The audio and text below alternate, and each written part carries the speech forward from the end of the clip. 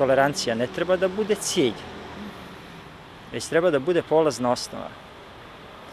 Jer ako bi nam trpeljivost bio cilj, čini mi se da padamo, zapadamo u jednu zamku i problem, ili možda začarano, začarani krug iz koga ne možemo izaći. Zato je važno, ističe psiholog Miloš Bulotović, da toleranciju ne gledamo kao izraz slabosti pojedinca, već kao mogućnost da uvažavanjem različitosti mišljenja i osjećanja stvaramo suživot sa drugima. Građani vjeruju da se sve više udaljavamo od ovih vrijednosti. Dosta sebični i što bi rekao narod svako se o svom jadu zabavi.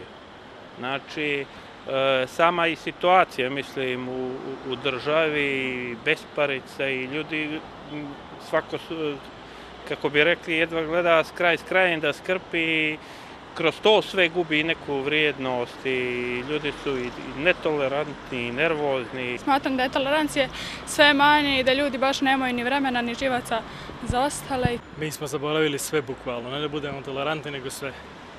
Tako da o toleranciji do mene treba tršiti riči jer je to davno neđe ostalo u neka vremena iza nas. Šta mislite da je razlog tome? Kapitalizam, surovi. Mislim da je današnjica dovela do toga da smo postali sebični i da je ovaj instant svijet u kojem ovaj živimo nekako doveo do toga da sve želimo tako instant da radimo, da sve želimo odmah.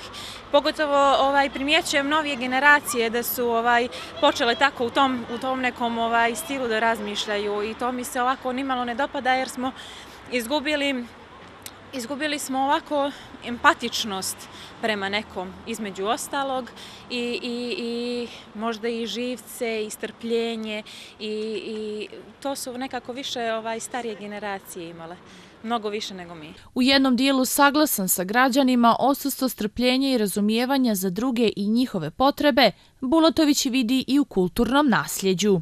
Mi kroz vaspitanje ne gajimo kult uh, strpljenja, to jest gajimo kult eh, da budemo impulsivni, da budemo eh, da na frustraciju reagujemo veoma burno, da na bilo koje osujećenje reagujemo burno, da prosto nemamo kapacitet da se zaustavimo i da to na neki način proradimo iznutra i onda kasnije da to pokažemo prema drugima i naravno prema sebi.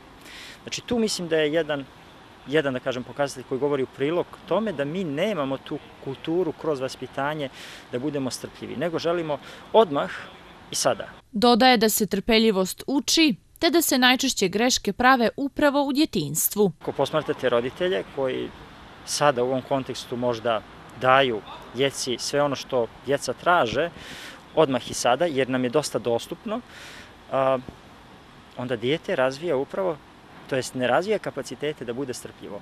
A onda ti isti roditelji su ih možda roditelji generacijski gledano na vrlo onako jasan i odrečan način zaustavljali u njihovim željama i htjenjima i onda nisu ih naučili da oni budu strpljivi. Osim vaspitanja, Bulotović kaže da različiti spoljni faktori mogu uticati na otuđivanje pojedinca. Ako ljudi nemaju financija, ako nemaju krov nad kućom, ako nemaju hranu, onda ne možemo pričati o onim višim nivoima razvoja ličnosti da voljle ili budu voljeni, da se saosjećaju sa drugima, da prosto se na neki način samo aktualizuju kao najviša instanca razvoja ličnosti.